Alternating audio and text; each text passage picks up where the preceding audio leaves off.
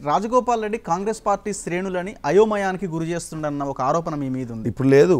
నేను గత నా రెండు సంవత్సరాలుగా ఈ మధ్యకాలంలో ఎప్పుడు కూడా ఒకరిని విమర్శించడం కానీ పార్టీ మారుతున్నా అంటున్నారు కదా మీరు నేను- ఎన్నికల వరకు వేచి చూస్తా అప్పుడు ఏ పార్టీ ఎన్నికల వరకు ఎన్నికల వరకు అంటున్నారు. నేను ఎన్నికల వరకు అనలేదు.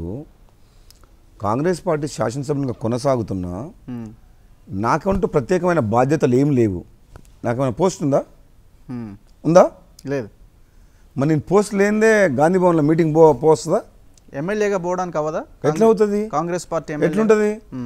నాలాంటి వ్యక్తి కెపాసిటీ ఉన్న వ్యక్తిని ఇంట్లో కూర్చోబెడితే అది కాంగ్రెస్ పార్టీకి నష్టమా లాభమా? మీరు అడగలేగా? పీసీసీ కావాలని మీరు అడగలేదు కదా? అడుగు అడుగుంటే గతంలో ఎమ్మెల్సీ గెలిచిన తర్వాత పీసీసీ కావాలని అడిగిన. ఉత్తమ్ కుమార్నే కంటిన్యూ చేసిండ్రు. ఎమ్మెల్యేని అందరు ఓడిపోయిన అధిరథ మహారథులు. నేను గెలిచిన. సిఎల్పి ఏమని అడిగినా? ఇవ్వలేదు బట్టి విక్రమార్కి ఇచ్చింది. మీరు ఎప్పుడైతే బీజేపీ వైపు అనుకూలంగా మాట్లాడారో మీ హైకమాండ్ కూడా కోపం వచ్చి ఉంటుంది. సి అది ఎప్పుడు? సిఎల్పి అడిగిన తర్వాత సిఎల్పి ఇవ్వకపోతే పన్నెండు మంది ఎమ్మెల్యేలు పోయిన తర్వాత. అరే సిఎల్పి ఇచ్చినా నీ పార్టీని కాపాడుకుంటా ఎమ్మెల్యేని కాపాడుకుంటా అని చెప్పిన? అప్పుడు ఇవ్వలేదు. ఎమ్మెల్యేలు పోయిన తర్వాత చేతులు గాలినంగా ఆకులు పట్టుకున్నట్టు. అప్పుడేముంది? అందుకనే నేను నాకు పార్టీ అంటే అభిమానం అంతా ఉంది. ఇదేంది పార్టీ? సరైన టైంకు నిర్ణయం తీసుకోలేంది వీళ్ళు? మనం అంత ఇంత ఇబ్బంది పడుతున్నాం ఇంత కొట్లాట చేస్తున్నాం కేసీఆర్ ఇంత అంచివేస్తుండు మా కార్యకర్తలందరూ పోలీస్ స్టేషన్లో చుట్టూ తిరుగుతున్నారు టీఆర్ఎస్ అందరూ హరాస్మెంట్ చేస్తున్నారు ప- పోలీసులు అందరూ టీఆర్ఎస్కు అనుకూలంగా పనిచేస్తున్నారు కాంగ్రెస్ పార్టీ కార్యకర్తలందరూ ఇబ్బందులు పడుతున్నారు. మరి ఇంత నడుస్తుంటే కూడా అధిష్టానం సమయానికి స్పందించకుండా ఉంటే ఎవరు నష్టపోయేది? ఇప్పుడు నేనేమంటున్నా కాంగ్రెస్ పార్టీ అధికారంలోకి రావాలంటే అందరూ కలిసికట్టుగా పనిచేస్తేనే మీ పార్టీ అధికారంలోకి వచ్చే అవకాశం ఉంది. మీరు ఒకవైపు మీ అన్న ఒకవైపు ఆయనకు పీసీసీ రాలేదని ఆయన ఇండివిజువల్ ప్రోగ్రామ్స్ ఆయన చేసుకుంటున్నారు. మీరు సైలెంట్గా ఉంటున్నారు. గాంధీ భవన్కి మీరు వెళ్ళట్లేదు. పీసీసీ ఆయన పని ఆయన చేస్తున్నారు. కొత్తగా వచ్చిన ఇన్ఛార్జ్ ఇది- ఎట్లా సాధ్యం అవుతుంది కొంత కొత్తగా వచ్చిన ఇన్ఛార్జ్ ఉన్నదే ఆరుగురు ఎమ్మెల్యేలు. మరి రాజగోపాల్ రెడ్డి లాంటి వ్యక్తిని మనం దూరం చేసుకోవద్దు. మరి గతంలో మనం అతన్ని ముందు పెట్టుంటే కొంచెం పార్టీకి లాభమై ఉండేది. కనీసం ఇప్పుడైనా మనం మాట్లాడి తగిన గౌరవం ఇచ్చి ప్రాధాన్యత ఇస్తే అతను పార్టీకి ఒక అసెట్ కాగలుగుతాడు. ఒక శక్తివంతుడు. ప్రజల్లో ఆదరణ ఉంది. ఎమ్మెల్యే ఎంపీ ఎమ్మెల్సీ ఉన్నాడు. కష్టకాలంలో ప్ర పార్టీ పార్టీ వ్యతిరేక పవనాలు ఉంటే కూడా గెలిచిండు. ప్రజల్లో ఉన్న మనిషి కాబట్టి మరి వా అతన్ని మనం ఏదో ఒక బాధ్యత అప్పచెప్పాలని ఆయన వాళ్ళు ఆలోచించాలి. మా మేమేంది? వాని చుట్టూ వీని చుట్టూ పదవుల కోసం తిరిగే అవసరమా నాకు. అంటే మిమ్మల్ని పోతే పోని అనుకుంటున్నారా ఇది వాళ్ళు? వాళ్ళ ఇష్టం కానీ ఆ వాళ్ళు పోతే పోనీ అని వాళ్ళది ఎవరు ఇవాళ ఉంటాడు. కొంత మొన్నటి వరకు ఉన్నాడు వెళ్ళిపోయిండు. ఇప్పుడు ఇవాళ అమ్మాని టాగర్ ఉండు వెళ్ళిపోయిండు ఇంకో ఆయన వస్తాడు. ఎవరిది పార్టీ? అది కాంగ్రెస్ పార్టీ కార్యకర్తలది పార్టీ. పార్టీ అంటే ఎవరు? పోతే పోయి అనుకుంటానికి ఎవరిది? ఇక మన దాకా రేవంత్ రెడ్డి ఉండు ఉత్తమ్ కుమార్ ఉండి ఇప్పుడు రేవంత్ రెడ్డి ఉండు రేపు ఇంకో పీసీ ప్రెసిడెంట్ వస్తాడు. ఎవరో అనుకున్నంత మాత్రాన కాదు. ఇప్పుడున్న పరిస్థితుల్లో ప్రస్తుతం ఉన్న ఇన్ఛార్జీలు వాళ్ళు ఈ పార్టీని బలోపేతం చేయాలంటే బలమైన నాయకులు ఎవరు ఎవరిని ముందు పెట్టుకోవాలి ఎవరిని ఏ బాధ్యతలు అప్పగించి ఈ పార్టీని బలోపేతం చేయాలన్న ఆలోచన ఇన్ఛార్జ్ జనరల్ సెక్రటరీకి ఉండాలి రాహుల్ గాంధీ గారికి ఉండాలి కాంగ్రెస్ సీనియర్లకు అధిష్టానానికి ఉండాలి.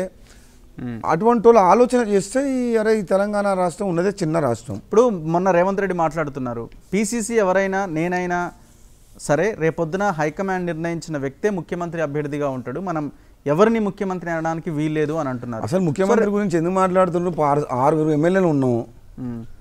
ఆరుగురు ఎమ్మెల్యేలు ఉన్నాం. ఫస్ట్ టైం ట్వంటీ వన్ వస్తే తర్వాత పంతొమ్మిది వచ్చింది. పంతొమ్మిదిలోకి వెళ్ళి ఆరుగురు మిగిలినాం.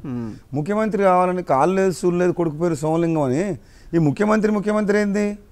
ఫస్ట్ పార్టీని బలోపేతం ఏ విధంగా చేయాలి? ప్రజల పక్షాన ఈ టీఆర్ఎస్ ప్రభుత్వం మీద పోరాటం ఎట్లా చేయాలి?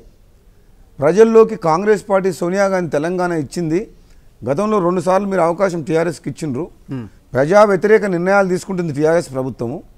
రెండు వేల పద్నాలుగులో కానీ పద్నా పద్దెనిమిదిలో కానీ కాంగ్ టీఆర్ఎస్ ప్రభుత్వం కేసీఆర్ ఇచ్చిన హామీలన్నీ తుంగలో తొక్కి మళ్ళీ నిజమైన ఉద్యమకారుడు అయిన రా ఈటల రాజేంద్ర అటువంటి వ్యక్తుల్ని మ, బర్తరఫ్ చేసి తెలంగాణ ద్రోవులందరికీ మంత్రి పదవులు ఇచ్చి మొత్తం తెలంగాణ రాష్ట్రాన్ని కేసీఆర్ కేసీఆర్ కుటుంబ సభ్యులు సీమాంధ్ర పెట్టుబడిదారులు దోసుకుంటున్నారు. అసలు నిజమైన తెలంగాణ ఉద్యమకారం అన్యాయం జరుగుతుందని చెప్పి ఒక మలి ఉద్యమాన్ని తీసుకొచ్చి ప్ర ప్రభుత్వ వ్యతిరేకంగా కేసీఆర్ కుటుంబానికి వ్యతిరేకంగా ఒక ఉద్యమ ప్రజల్ని చైతన్యవంతులు చేసి పోరాటం చేసేటోడు కావాలి. ముఖ్యమంత్రి ఏంది ముఖ్యమంత్రి? అయ్యేటప్పుడు అవుతారు ఎవరు అయ్యేటప్పుడు? పోరాటాలు చేయాలి ఉద్యమాలు చేయాలి ధర్నాలు చేయాలి నిరసనలు తెలియజేయాలి ప్రజల్ని చైతన్యవంతులు చేయాలి. ఇవన్నీ కార్యక్రమాలు ఎవరు చేస్తారు? అంటే మీడియా సమావేశాలు పెట్టి అది చేస్తే మీడియాలో మాట్లాడితే మన వస్తుందా? ఇప్పుడు ఎవరు చేయాలి ఆ పని? మీరందరూ సీనియర్ నాయకులు కలిసి ఏమంటున్నా, నేను నాతో పాటు చాలా ఇప్పుడు మీ- మీ పీసీసీ అయిన తర్వాత రేవంత్తో మీరు కానీ మీతో ఆయన కానీ మాట్లాడడం జరిగిందా? నాకు ఫోన్లో మాట్లాడిండు ఇంటికి వస్తా అన్నాడు. ఒక రా ఎనీ టైం మనం ఫ్రీగా ఉన్నప్పుడు కలుస్తా అని చెప్పిన. కొద్దిగా మా బ్రదరు ఆయనకు రాలేదన్న కోపంతో ఆయన కొంచెం స్టేట్మెంట్ ఇచ్చింది కాబట్టి. కొద్ది కొద్ది రోజుల తర్వాత రా ఏముంది తొందర ఏముంది మనం కూర్చొని మాట్లాడదాం. ఆయన కూడా సీనియరే కదా వెంకటరెడ్డి గారు కూడా. ఆయన తెలంగాణ కోసం త్యాగం చేసిండు సీనియరు. ఆయన కూడా పదవి వస్తుందని ఎక్స్పెక్ట్ చేసిండు. రాకపోవడం వల్ల న్యాచురల్గా ఎవరికైనా బాధ ఉంటుంది కదా. సరే నువ్వు కూడా కొంచెం దూకుడు ఉన్నది ఫైటింగ్ చేస్తావు అనే నమ్మకం ప్రజల్లో ఉంది. మరి నువ్వు అధిష్టానాన్ని కన్విన్స్ చేసి నువ్వు తెచ్చుకున్నావు. అటువంటిప్పుడు మనం అందరం కలిసి పనిచేయాలంటే ఆలోచన చేద్దాము. తప్పకుండా మరి నువ్వు ఒక్కడే అనుకున్నంత మాత్రాన కాంగ్రెస్ పార్టీ రాదు కదా తెలంగాణలో. ఓకే. ఆ కమిటీ మెంబర్లు చూస్తున్నాం మరి ఆయన మాణిక్ ఠాకూర్కి ఎవరు చెప్పిండ్రు ఆ కమిటీ మాత్రం కరెక్ట్గా వేయలేదు. మరి రాబోయే రోజుల్లో యుద్ధం చేయాలంటే అందరినీ కన్సల్ట్ చేయాలి కదా. ప్రతి కాంగ్రెస్ పార్టీ సీనియర్ లీడర్లను కూర్చోబెట్టి మాట్లాడి మనం ఏదైనా కమిటీలో మంచి పోస్ట్ మీకేమైనా కోపం ఉందా? మీ అన్నకి పీసీసీ రాలేదని? అట్లేం లేదు. బాధ, కోపం? నాకు అట్లేం లేదు. నాకు కోపం లేదు తాపం లేదు. నేను టూ టూ ఇయర్స్ నుంచి నేను ఎప్పుడు పీసీస్ కావాలని కూడా అడగలేదు. మా బ్రదర్ వెంకటరెడ్డి ఒకవేళ నాకు చాలా సీరియస్ కామెంట్స్ చేశారు కదా పీసీసీ పదవి రాకుండా ఆయన అక్కడ ఢిల్లీ నుంచి వచ్చిన తర్వాత. నేను ఆ రేస్లో లేను వాళ్ళిద్దరు ప్రయత్నం చేసిండ్రు ఒకరు తెచ్చుకున్నారు. నా ఆలోచన ఏంటంటే కేసీఆర్ని గద్దె దింపడం ఏ విధంగా చేయాలి? ఇది కాంగ్రెస్ పార్టీ పోరాటం చేస్తే ఏ విధంగా పోరాటం చేసి మనం దీన్ని ప్రజల్లోకి పోవాలి? మరి ఇప్పుడున్న నాయకత్వం అధిష్టానం మరి సీరియస్గా ఈ విషయంలో మరి కరెక్ట్ నిర్ణయాలు తీసుకుంటే తప్పకుండా మరి కాంగ్రెస్ మీ మీరు ఒక పాయింట్ చెప్పండి. మీకు నమ్మకం ఉందా? కాంగ్రెస్ ముందుకు వెళ్తుంది అన్న నమ్మకం మీకు కలుగుతుందా?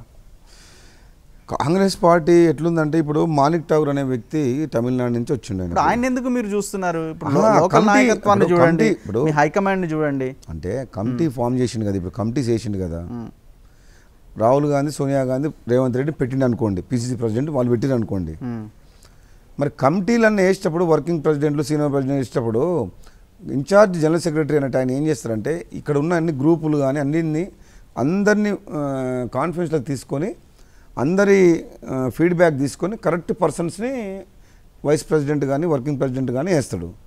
నాకు ఆ కమిటీలు చూసిన తర్వాత అనిపించింది ఇది అంతా ఏంది ఇది? ఎవరిని అడిగి వేసిండు ఎవరితో మాట్లాడిండు ఆయనకు? ఆయన పూర్తి అవగాహన ఉన్నట్టు లేదు కదా అని అనిపించింది నాకు. మ్మ్. అంటే మళ్ళీ రాంగ్ ట్రాక్లో పోతుందా కాంగ్రెస్ పార్టీ. మ్మ్. గతంలో ఉత్తమ్ కుమార్ రెడ్డి చెప్పినట్టే కుంతియా విన్నాడు. కథమైంది పార్టీ. మళ్ళీ ఇప్పుడు ఆయన ఈయన ఎవరో ఒకరు చెప్పినట్టు విని మొత్తం వన్ సైడ్ పోతాడు అనుకో మళ్ళీ ఫినిష్ అయిపోద్ది పార్టీ. ఇక్కడ స్థానికంగా నాయకత్వం ఎక్కడైతే బలహీనంగా ఉందో ఎవరిని ప్రమోట్ చేయాలి? కమిటీలో ఎవరిని తీసుకోవాలి? సలహాలు సూచనలకు రకరకాల కమిటీలు వేసి అందరిని ఇన్వాల్వ్ చేసి. ఒక జాయింట్గా కలెక్టివ్ రెస్పాన్సిబుల్ లాగా ఒక టీం లాగా తయారై ఒక యాభై మందో వంద మందో ఒక మెయిన్ టీం లాగా తయారై అన్ని కమిటీలు వేసుకొని అంటే పర్ఫెక్ట్ కమిటీలు వేసుకొని పోరాటం చేస్తే then there is a chance